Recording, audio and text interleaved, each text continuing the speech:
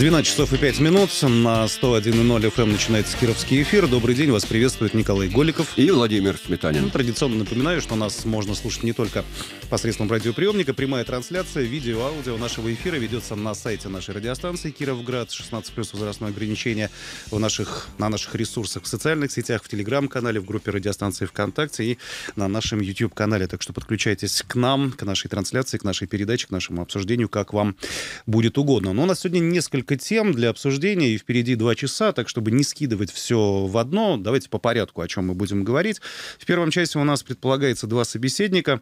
Хотим мы ближе к середине часа пообщаться с министром охраны окружающей среды Кировской области Аллой Албеговой. Вполне конкретный повод для этого появился. Повод очень интересный. Да. В Кирове в тестовом режиме начала работать мобильная лаборатория мониторинга воздуха. Это то, о чем так долго говорили. В декабре в Кировской области она прибыла. В, прош... сейчас ее в, прошлом, в прошлом году, в прошлом году несколько раз да. новости появлялись о том, что да, вот, да, вот да, скоро да. будет, будет она. А я просто читал, когда новость, понял, что ну почему не сразу-то ее запустили, потому что еще специалистов надо было подготовить, угу. техника сложная, и вот сейчас как бы она начала уже работу, пробные выезды. Ну, ее появление в областном центре вполне оправдано. Не секрет, что разный букет запахов э, в разных районах в разных города, районах разный города, букет иногда, на выбор стихающий, иногда усиливающийся. Он присутствует у нас 12 месяцев в году. Вот у нас сегодня с утра как раз коллеги жаловались, что опять чем-то таким пахнет неприятным в городе. Да, ну вот э, вовремя появилась мобильная лаборатория. Видимо, там есть специальное оборудование, чтобы брать пробы специальные, да, оценивать их на содержание. Ну, я думаю, Алла Викторовна расскажет веществ. именно, что нового привнесет да. вот эта именно лаборатория, потому что так-то воздух у нас меряют, и Роспотребнадзор постоянно угу. меряет, да, угу. но как-то вот, э, видимо, чего-то не хватало. И общественные активисты у нас тоже имеются, которые там по собственной, Нет, ну это все-таки вот такая инициативе, уже, видимо, лицензированное оборудование, лаборатория.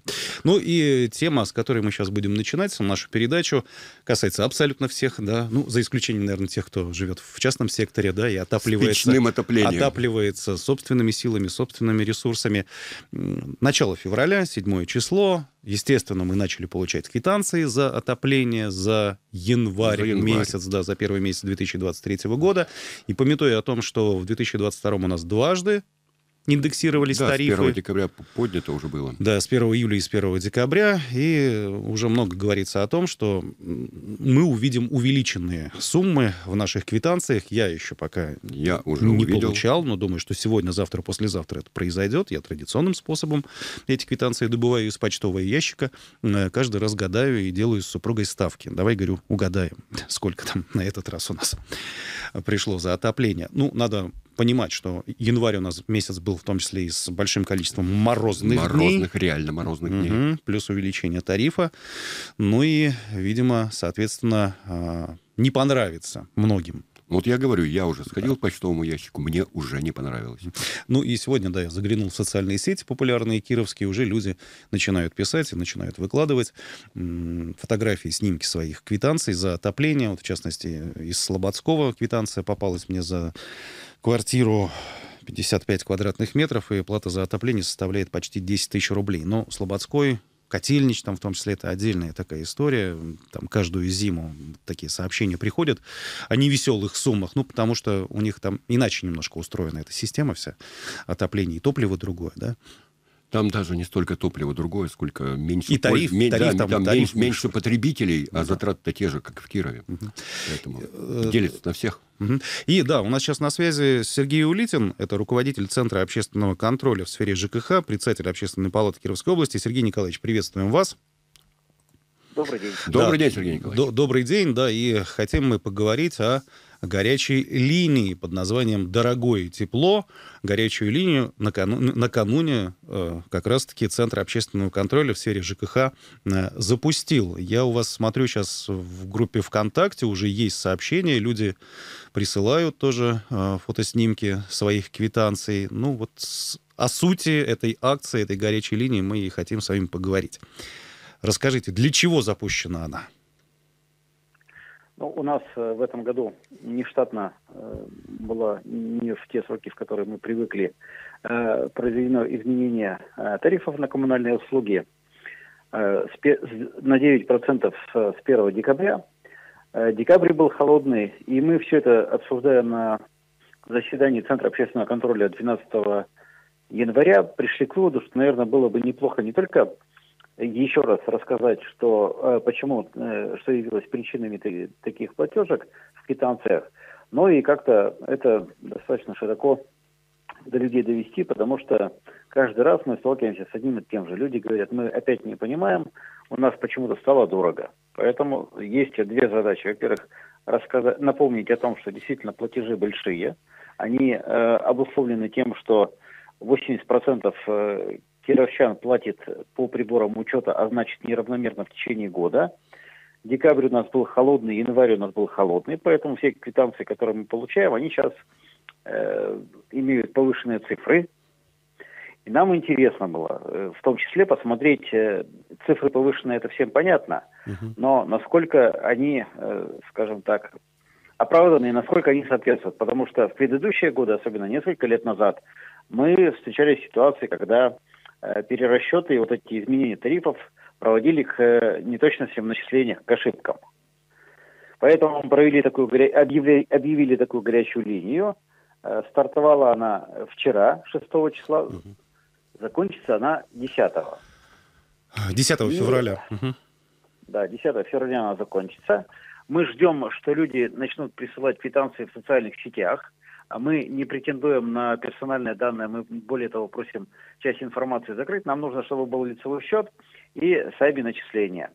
Мы, у нас есть договоренность с энергосбытом, что мы все эти квитанции отработаем. По состоянию на утро сегодняшнее было 82 обращения уже поступило. И пока вот первые, там, не, не все 82, первые, которые посмотрели, более-менее корректное начисление у нас, э, мы их все равно отработаем, но пока у нас э, они попадают в ту логику тех, э, того роста, связанного с температурой и с повышением, вроде особо никаких проблем пока не видим. Надеемся, что так и будет. Но 82 обращения за один день, это по нашей статистике, это неплохая реакция граждан. Вопрос их беспокоит. Безус, безусловно. Конечно. Ну, да. тут надо уточнить, имеется в виду ведь не только областной центр, но и районы Кировской области, конечно, да? А то оттуда конечно, тоже приходят конечно. сообщения. Угу, Конечно, но честно могу сказать, кировчане, они по всем вопросам ЖКХ наиболее активные. Ну, еще Кирово-Чепецк.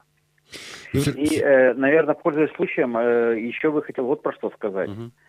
У нас бывают ситуации, когда абсолютно два одинаковых дома получают равны, разные платежки. Мы в прошлом году ездили, и в этот раз завтра мы специально выезжаем на два пятиэтажных дома, э, у которых разница в платежах отличается за тепло, отличается на 30%. Ну, ну, почти на 30, там чуть-чуть меньше, но все равно сумма очень значительная.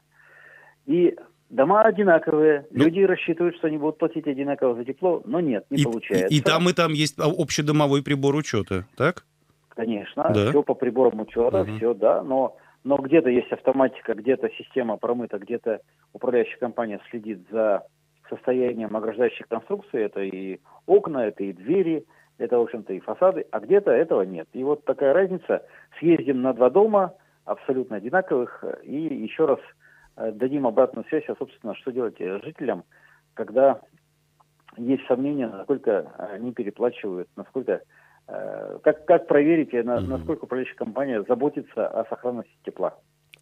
Вот, Сергей Николаевич, я хотел уточнить, какой вопрос. У вас вот как бы в правилах горячей линии написано, что сообщать э, желательно о необоснованно завышенных счетах, да? Вот сам термин, сам да, термин необоснованно. Вот э, как вот объяснить э, кировчанам, в каком случае, вот они ваши клиенты, да, в каком случае они послать вам должны платежку?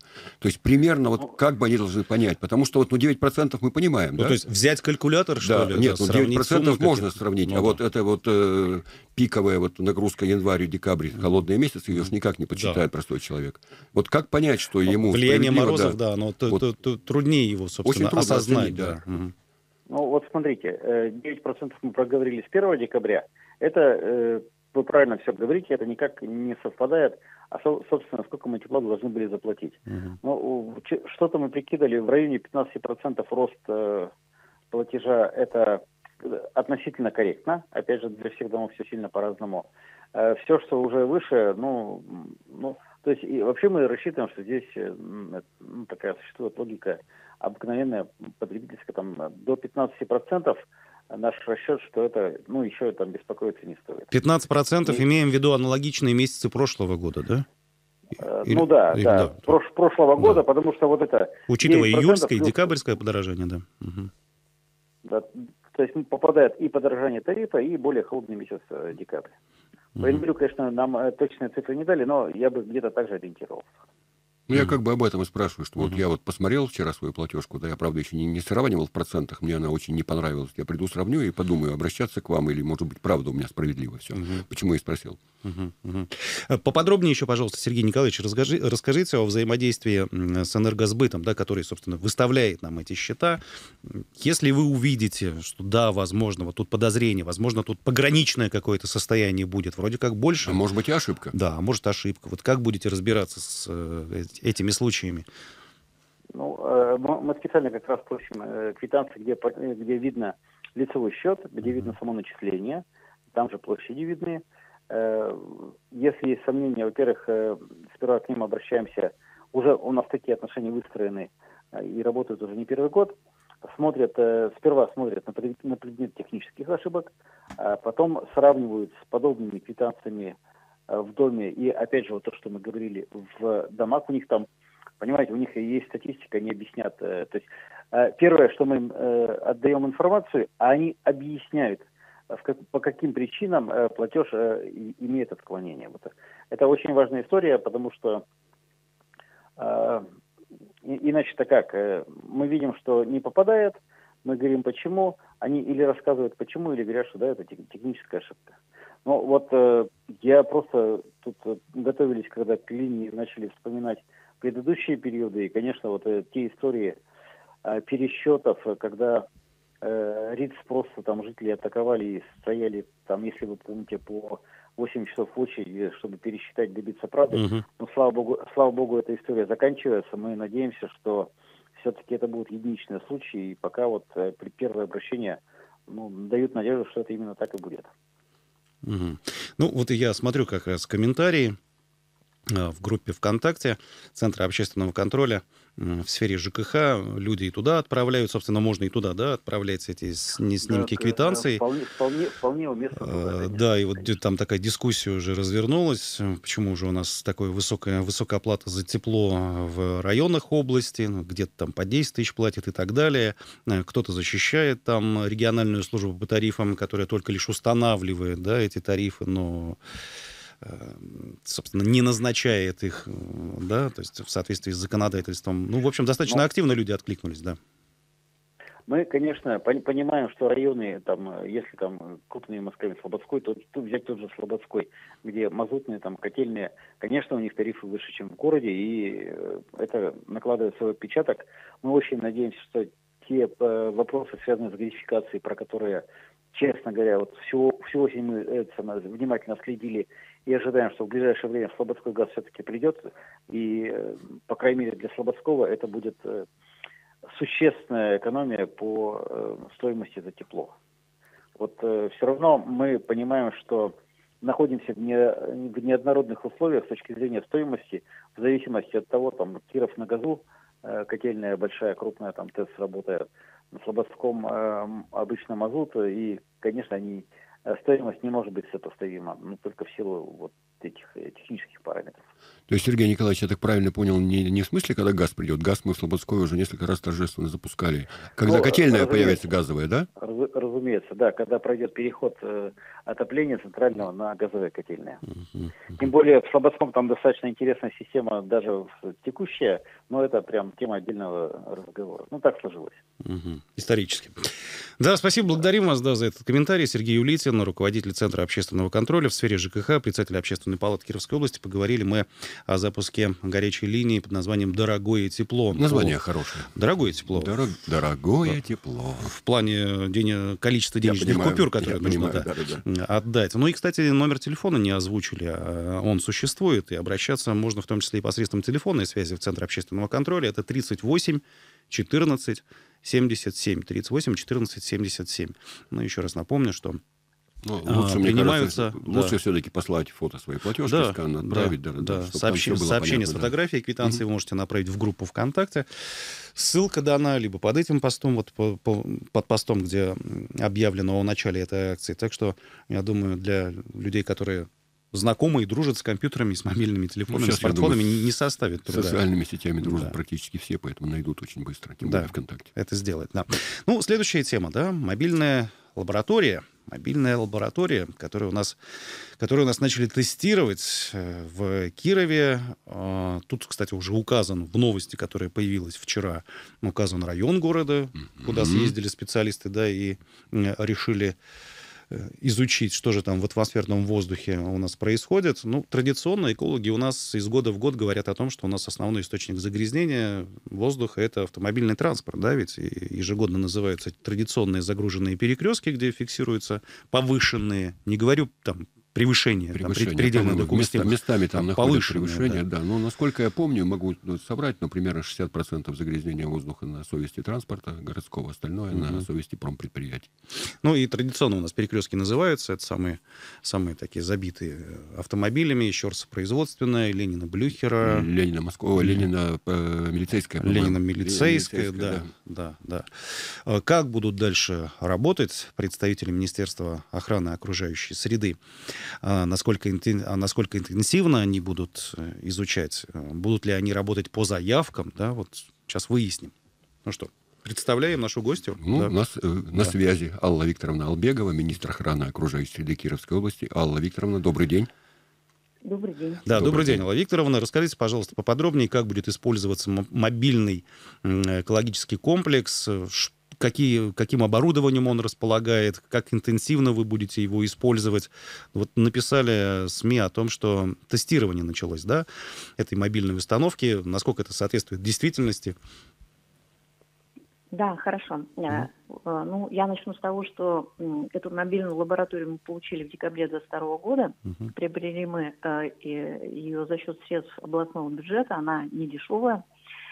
А, но а, она оправдывает себя, поскольку укомплектована самым современным профессиональным оборудованием, которое позволяет проводить круглосуточные исследования атмосферного воздуха в условиях от минус 40 до плюс 40 градусов Цельсия в рамках а, можно использовать и надзорных, плановых, неплановых мероприятий, также в том числе и в рамках мониторинга.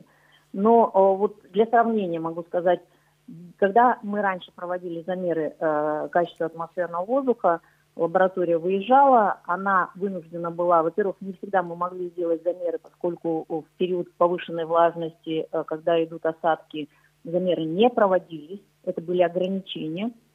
Сейчас этих ограничений нет. Плюс мы не могли при низких температурах замерять, это тоже были ограничения методические того оборудования, которое мы использовали. Угу. И э, до исследования мы проводили стационарно уже в самой лаборатории. Это занимало огромное количество времени. Э, на сегодня, вот э, первый выезд мы действительно э, сделали э, 3 февраля. Э, э, лаборатория работала на территории жилого комплекса «Метроград», Э, мы замерили э, более 30 показателей, точнее 32 показателя. На это ушло времени меньше двух часов. Э, на сегодня у нас разработан график ведения наблюдения за атмосферным воздухом на территории города Кирова. Мы включали места отбора проб, чтобы это были те микрорайоны, из которых наиболее часто поступают жалобы на неприятные запахи. Ну для примера, это микрорайон Метроград – Э, это запахи от э, предприятий, которые располагаются на площадке Луганская, ну, так скажем, биохимзавод бывший uh-huh. под названием, да. А, ЖК, э, жилищный комплекс э, «Знак», это в основном жалобы были на запахи от агрофирмы «Дороничи». Значит, частный сектор э, в микрорайоне Филейки, это и поселке Ганина, это запахи на честные сооружения МУП водоканала – также мы включили обязательно э, жилой комплекс Озерки. Вы знаете, что там тоже периодически возникают вопросы по качеству воздуха. Uh-huh. Значит, ну и э, самое главное, что перечень определяемых веществ в каждом микрорайоне, он свой. Он сформирован с учетом э, тех загрязняющих веществ, которые выбрасываются хозяйственными субъектами, предприятиями на, ну, на территории вблизи расположенной. На конкретной, на конкретной местности. Угу. Да, да, да, да. Угу. Там, то есть какая-то специфика и общепромышленный выбор. Угу. Вот что мы можем, что эта лаборатория может э, сразу одновременно делать? Во-первых, она сразу определяет метеопараметры. У нас раньше такой возможности не было, и мы делали запрос в гидрометеоцентр, если мы сделали какой-то замер, какие в этот момент были метеопараметры. Сейчас это все, извините за такую терминологию, за сленг, все в одном флаконе. А метеопараметры а, это влажность воздуха, атмосферное направление, да, направление ветра. Да, да, да. Угу. скорость и направление угу. ветра, да. Угу. Значит, дальше она а, позволяет определять общепромышленные вещества, у нас их шесть. А, также позволяет а, различные углеводороды, различную органику. Ну и самое главное, а, маркерную специфику на а, те вещества, которые обладают запахами. Ну, в первую очередь, меркаптаны, сероводород, аммиак, фурфурол специфика и, и ряд других. А, вот, на наш взгляд, э, использование мобильной э, лаборатории позволит нам все-таки организовать эффективную систему наблюдения за качеством воздушной среды э, в городе с целью получения таких оперативных, достоверных данных о, о загрязнении, ну, или о состоянии, я бы так правильно сказала, воздуха в городе Кирове. А, ну и принимать оперативно организационные меры по какому-то устранению, если что-то мы выявляем, или минимизации негативных последствий. График у нас такой разработан. Значит, ну сейчас наша задача, во-первых, мы сейчас пока не аккредитованы. Давайте вот прям так полноценно скажу. Так, что это а, значит? Мы что, это, берем... что это значит? Это значит, да. что те замеры, которые мы проводим, они сейчас идут в тестовом режиме. Мы накапливаем базу данных для будущей аккредитации. Мы должны аккредитоваться до 1 июля 2023 а, года. Это достаточно непростая и длительная процедура. Значит, э, тот орган, который будет нас э, аккредитовать, госстандарт, они должны убедиться, что э, наши специалисты владеют в полном объеме методиками и имеют определенную базу данных для разных ситуаций. Вот, то есть до 1 июля ну так скажем, тестовые режимы, они не позволяют использовать эти данные ну, э, например, в судебных процессах. Ну да, да? прикреплять да. Каки- каким-то официальным документам, да, то есть являться верно, доказательной базой верно, да. там и так далее официальной. Да, совершенно угу, верно, угу, потому угу. что, как правило, э, лаборатория, чтобы свой статус подтвердить, она еще предоставляет документ об аккредитации лаборатории на те иные вещества, показатели, например, или на те или иные условия. Вот, поэтому я думаю, что после аккредитации, именно после 1 июля, это уже будут полноценные а, выезды, графики у нас все равно на весь год, а, значит, составлены, это будут полноценные выезды, работать мы будем круглосуточно. Ну и, естественно, если будут какие-то жалобы, мы будем оперативно выезжать в эти точки, отклоняться, конечно, немножко от графиков, но в этом тоже необходимость будет. Будем проверять быстро, оперативно по жалобам, если будут какие-то Эм, какая-то информация о неблагоприятном состоянии. Вот примерно так. Алла Викторовна, ну, вот... помимо, угу. помимо мобильной лаборатории, я хочу сказать, что мы же как бы двигаемся двумя направлениями. Э, лаборатория позволяет дать оценку состояния воздуха. Но если помните, там, если в курсе, у нас э, месяца два назад мы этот вопрос рассматривали на оперативном совещании губернатора области Александра Александровича Соколова, он давал нам поручение а, вот по тем а, потенциальным предприятиям, которые имеют вещества с неприятными запахами, составить дорожные карты по улучшению ситуации. Ну, то есть что, какие, по мероприятиям, которые должны э, делаться внутри предприятий. Дальше эти дорожные карты – обсудить э, с общественностью, ну и э, э, принять к действию. Вот э, в рамках этого поручения мы также э, проводили несколько встреч. У нас там пять предприятий, которые, с которыми мы работаем. Это Дороничи, Красногорский, это БХЗ, ну уж извините, я так по-старому ну, по старинке, да, мы именуем по именно так. Да, угу. Водоканал и ТЭЦ. Вот на сегодняшний день четыре дорожных карты по предприятиям у нас есть. Сейчас мы занимаемся доработкой вместе с предприятием дорожной карты по биохимзаводу. И как только будет готово, мы, э, я думаю, что на недельку, может быть, на две э, вывесим это на всеобщее обозрение, чтобы люди могли познакомиться, а дальше назначим э, встречу для всех желающих, чтобы могли прийти и высказать какие-то свои там свое понимание, угу. свои какие-то предложения, может быть, замечания по улучшению этих дорожных карт. Алла Викторовна, да, да, Алла Викторовна, да, я прошу, угу, прошу прощения, что перебиваю. У нас сейчас небольшая будет рекламная пауза. Можно вас попросить оставаться с нами на связи? Дорожная карта тоже тема очень интересная. А, подробнее, минутку, подробнее, да, да, о нем рассказать чем будет возможность буквально через минуту, да. Продолжается э, наша передача, да, дневной разворот. Немножко отвлеклись на общение с нашим редактором в перерыве. У нас на связи Алла Албегова, министр охраны окружающей среды Кировской области. Алла Викторовна, еще раз добрый день. Добрый день. Да, добрый день. Давайте вот продолжим э, наш разговор про дорожные По карты. Картам, да. чуть, чуть подробнее. Дорожная карта, ну, такое устоявшееся выражение, да, э, во властной среде. Вот составляется карта, поэтапная, пошаговая, да, инструкция, к чему идем, к чему должны прийти-то мы в итоге благодаря реализации мы, этих дорожных карт, да? Мы, мы, э, конечно, не можем диктовать предприятиям какие-то требования или условия. Но и со стороны предприятий, и со стороны э, органов власти, а у нас на наших встречах помимо нас еще присутствуют представители Роспотребнадзора и Росприроднадзора, есть общее понимание, что есть проблема на территории города Кирова. Она связана с неприятными запахами. Угу. А отсюда есть необходимость провести, ну так скажем, разработать и внедрить какой-то комплекс дополнительных мер по улучшению ситуации, связанной с этими запахами.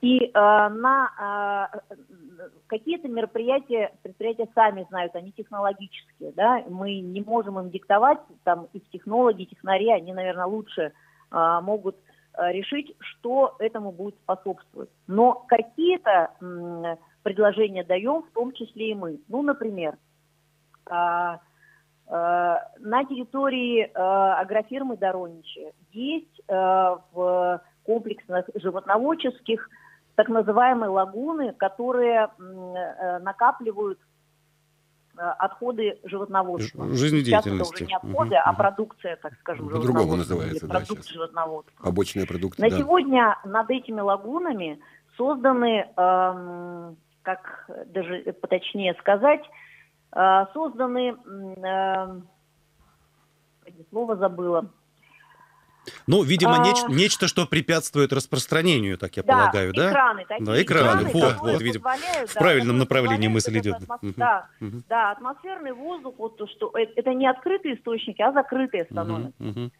Но мы видим, что а, то есть здесь комплекс мероприятий ну, вроде бы достаточный. Но, а, может быть, иногда в процессе там, нарушения какой-то технологии, а, дальше они вот после, эм, так скажем, перегнивания этих отходов, они их вывозят на поля. И на наш взгляд, именно в этот момент внесения на поля и происходят те э, запахи, которые беспокоят жителей там, Дороничи и в, э, ряда микрорайонов в городе. Uh-huh. И поэтому задача стояла как э, либо довести до кондиции, вот, э, так скажем, эти отходы, чтобы они пере, действительно превратились в удобрения, но без запаха. А, мы а, встречались с ними дважды, и на второй, а, на второй встрече мы пригласили к общению еще предприятие «Сельхозбиогаз». Предприятие, которое занимается разработкой и внедрением установок по утилизации вот, вот этих запахов, грубо говоря, uh-huh. или биогаза. Получается, там, в зависимости от того, какая задача у заказчика, либо избавиться от запахов, либо например, получить, наоборот, какие-то ценные удобрения. Но э, самое главное, что вот наша встреча, она действительно дала такой посыл э, для дальнейшего общения этого предприятия вместе с представителями, с руководством э, агрофирмы. Мы надеемся, что и такая у меня э, информация уже есть, о том, что они планируют э, техни- по техническому заданию, сейчас работают над техническим заданием, дальше они готовы заключить договор на внедрение этой установки. Вот это, на мой взгляд, результат вот этих действий. Uh-huh. То есть мы э, конкретные будут внедряться меры, чтобы запахов этих не было, и вот э, те отходы, они сразу же, значит, э, происходила переработка их в продукцию без запаха. Это перспектива нескольких месяцев, года, двух? Я думаю, что э, не меньше э, двух лет, я думаю, что не меньше двух лет. Ну, потому что все-таки довольно непростая ситуация с этой установкой. Там должна быть, должен быть подбор э, технологий. Скорее всего, я думаю, что они, возможно, выйдут на опытно-промышленное какое-то внедрение в следующем году, в 2024 ну, к 25-му, я думаю, что мы уже можем как бы констатировать, что э, довольно ну, проблема, связанная с запахами от агрофирм, она у нас, я думаю, что будет ликвидирована. Алла Викторовна, будет устранена, вот угу. так вот я бы сказала. Как раз вот слово «запахи» зазвучало, я хочу немножко вернуться к лаборатории. К мобильной. Да, к мобильной, потому что да. вот как бы очень часто такая бывает информация, что вот э, выехала Роспотребнадзор, либо вы замеряете, говорите, превышение ПДК нет, да, и как бы все нормально, но запахи есть. И вы сами, наверное, понимаете, что запах есть. Да, вот эта да, лаборатория есть. вот эту проблему поможет решить? Она сможет зафиксировать этот вот запах, что он есть? Нет, конечно, она не сможет зафиксировать этот запах. Она может только зафиксировать вещества, маркерные для запаха. И если, предположим, запах сильный, то, значит, концентрация этих маркерных веществ будут значительно выше, и мы их зафиксируем как выше ПДК. Какая здесь проблема на самом деле, что на сегодня запахи не нормируются. Угу. Нет э, никаких нормативов, нет перечня веществ, которые являются источником запаха, ну, э, формально, официально. Угу. Поэтому мы сейчас можем только по косвенным каким-то показателям э, это фиксировать. Но я думаю, что, смотрите, тут надо смотреть э, на данный вопрос комплексно. Одно дело, когда мы получаем какую-то разовую точку, да, и замер по разовой точке. Другое дело, когда лаборатория э, может в течение там э, у нас же запахи не бывают один час или два. Как правило, это бывают сутки, да, ночное да, время, да. целая ночь, там, угу. или целое утро, там, до обеда, например. Ну, зависит вот от атмосферных, время... да, условий, в том числе, да. Да, угу. да. За это время, а, если у нас есть предположение, исходя из оза ветров, из направления, э, там, из скорости ветра, если есть предположение, что является потенциальным источником запахов, у лаборатории есть возможность оконтурить в течение короткого времени – эту территорию и подтвердить данными, что именно это предприятие является источником запаха. И, а это уже а, вопрос для надзорных органов, прокуратуры по дальнейшему по дальнейшей работе с этим предприятием. Угу. А контурить, то есть установить границы распространения вот этих неприятных да, запахов, да? И сказать, да, да и угу, сказать, что угу. это именно это предприятие является источником э, выброса, вот, так скажем, вот этих вот повышенных концентраций. Угу. Ну, это и, уже и очень большое нам, дело для этого нам и нужна сейчас наработка по базе данных, чтобы мы смотрели, например, какая ситуация, когда запахов нет, да, какие концентрации. Когда запахи будут, концентрации будут уже какие-то другие. Мы должны смотреть на эти зависимости. Это очень непростая работа. Это только так кажется, что там раз и все, и мы там сказали, что все, это предприятие и, и проблема с запахами решена.